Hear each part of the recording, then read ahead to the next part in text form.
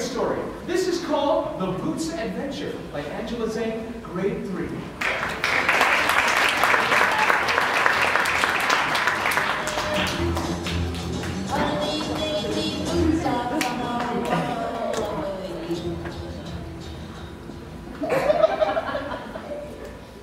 Winter was finally here in New York. Snow was piled up everywhere. Children were laughing. Snowballs were being thrown at people.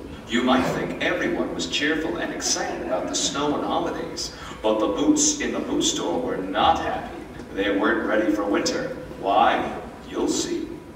Oh no, it's the buy a pair, get one free sale again. Oh no, not those stinky feet again. Oh, how they stink. Ugh!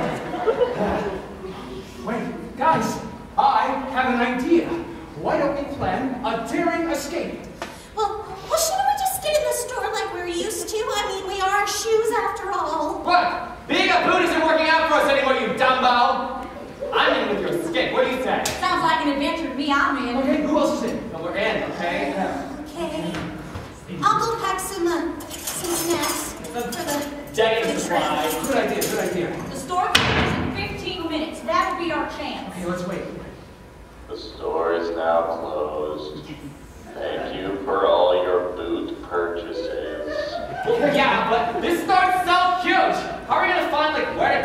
To go and digging? Well, easy. We use the GPS on my boot Chromebook. You don't have one of those? Yeah, isn't that good? Ah, okay. Now this way. Right here. This is the perfect spot to start digging. You got the sh- shovels? Yes.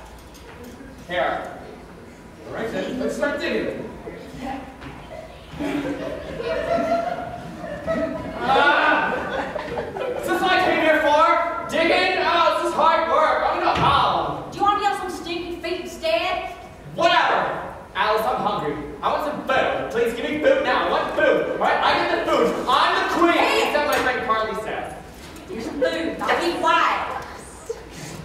All right, keep digging. Hey. Hey.